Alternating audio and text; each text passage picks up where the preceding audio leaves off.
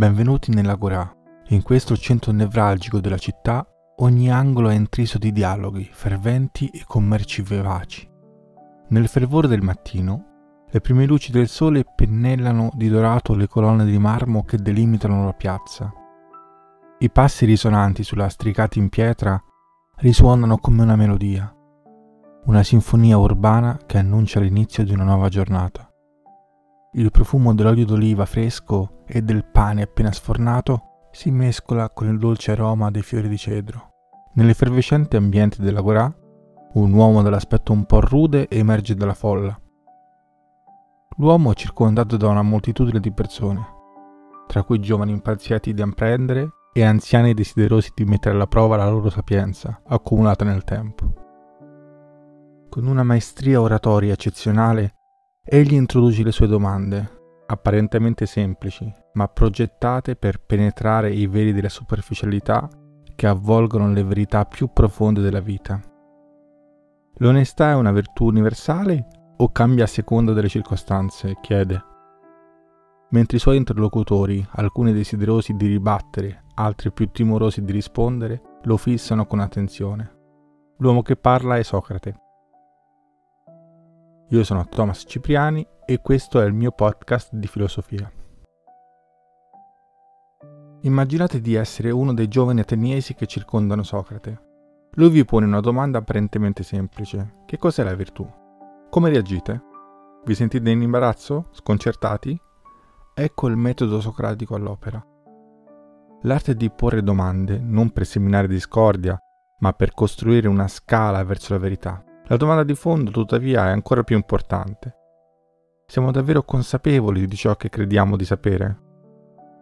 Socrate non fornisce una risposta pronta sull'etica o sulla virtù. Al contrario, scompone le risposte preconfezionate dei suoi interlocutori, come se stessi togliendo i mattoni da un muro mal costruito. È la virtù forse il coraggio? chiede, o la saggezza, o la giustizia? Le domande di Socrate non servono a trasmettere conoscenze, ma per imparare un metodo di indagine, e i suoi interlocutori ne sono affascinati e intimoriti. Socrate dice di esercitare l'arte della maieutica, che è l'arte di far partorire. Socrate afferma, anch'io sono nella situazione simile a quella delle levatrici. Anch'io faccio partorire, anch'io sono sterile. Aiuto a partorire se stessi, quando mi accorgo che il mio uditore sta partorendo illusioni, falsità e menzogne, io cerco di strappare da loro queste malformazioni. Anche le levatrici, infatti, sanno somministrare i farmaci. Socrate non ha scritto nulla. Per Socrate la verità non è qualcosa che si possiede, ma che si costruisce. La ricerca della verità non ha un fine, è un'evoluzione, per questo non si può scrivere. La ricerca è infinita e lo scritto blocca questa ricerca. E una vita senza indagare è una vita che non merita di essere vissuta. Socrate ha avuto da giovane una grande crisi filosofica. Un giorno un suo amico che si chiama Accherofonte è andato dall'oracolo di Delfi, dove c'era il tempio più importante della Grecia, dedicato ad Apollo. E qui ha chiesto alla sacerdotessa Pizia, chi è l'uomo più sapiente della Grecia? E la sacerdotessa, con risposta non del tutto esplicita, ha risposto Socrate. Quando Socrate lo è venuto a sapere, è entrato in crisi perché si è chiesto come mai fosse lui l'uomo più sapiente. Sapeva che gli dei non mentono e così ha cominciato a indagare il significato del responso. Ha cominciato a cercare la ragione delle cose, è andato per le strade di Atene facendo domande alle persone. Che cos'è l'amore? Che cos'è l'amicizia? Che cos'è la giustizia? È andato dai poeti, dai politici e dagli artigiani sperando di dimostrare che lui non era il più sapiente degli altri, ma si è reso presto conto che nessuno di loro sapeva dare spiegazione della propria sapienza. Allora ha capito di essere sapiente perché sapeva di non sapere. Socrate inoltre ci ha offerto un paradosso straordinario. Nessuno fa il male volontariamente. Egli afferma che se conoscessimo veramente il bene, faremmo il bene. Il male, secondo il filosofo, è figlio dell'ignoranza. Tuttavia, la curiosità di Socrate gli costò cara.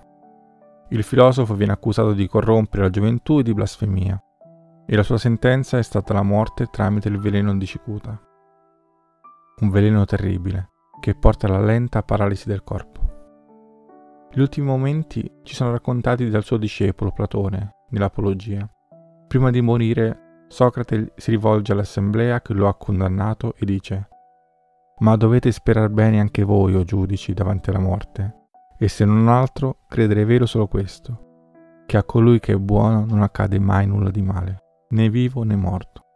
E conclude con queste parole stupende. I miei figliuoli, quando saranno giovani, castigateli, o cittadini, tormentandoli come io ho fatto con voi, se vi paiono aver cura del denaro o d'altro più che della virtù, e se paiono voler mostrare d'essere qualche cosa non essendo nulla, svergognateli, come io ho fatto con voi, perciò che non curano di quel che devono curare e si credono di valere qualche cosa non valendo nulla. Se farete ciò, io e i miei figli avremo ricevuto da voi quello che era giusto che ricevessimo. Ma già ora è di andare io a morire e voi a vivere. Chi di noi andrà a stare meglio, solo a Dio è dato saperlo.